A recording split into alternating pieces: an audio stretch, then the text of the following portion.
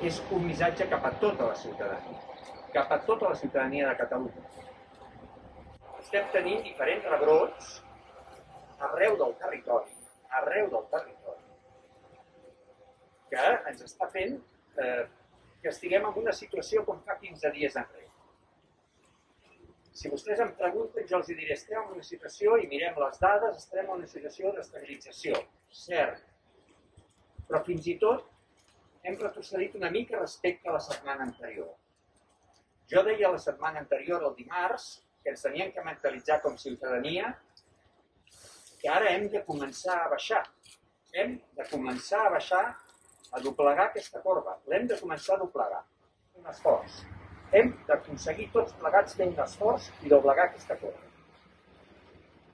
I saben que sempre explico la mateixa cantarella, si vostès volen, a la mateixa vacuna, que és la mascareta, que és la distància física, que és el rentat de mans.